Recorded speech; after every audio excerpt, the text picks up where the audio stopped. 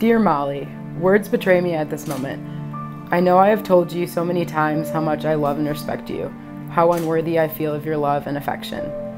I love you and swear I will never cease loving you. As we embark together, two in one, I look forward to all that our future holds together. I know I cannot promise perfection, nor can I see the future. So, why the journal slash booklet? I wanted to begin this on our start to our new life.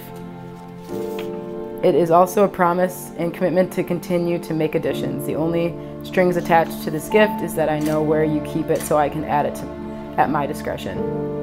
I love you so much and cannot wait to make many new memories and faces with you, my dearest love, Molly. God bless and Our Lady keep you always. Your greatest admirer, Chuck. Dear Chuck, or should I say greeting neighbor. I can't believe that I'm writing you a letter that you'll be reading on your wedding day. Isn't that crazy cool?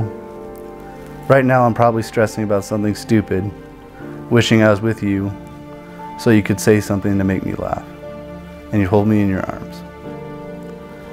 I kind of am at a loss for words, for what to say to you because you mean everything to me.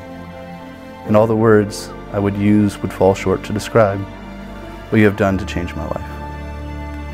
Don't feel you must read all the letters I wrote you in the box today, but I look forward to you reading them at some point.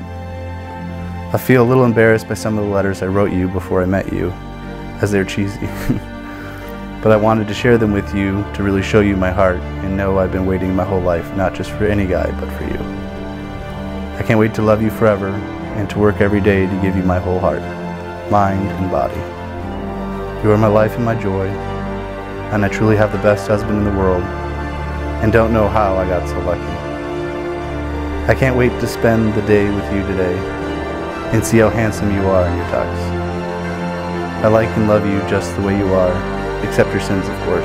Laugh out loud. And I hope you always know that. All my love, respect, admiration, attraction, and laughter forever.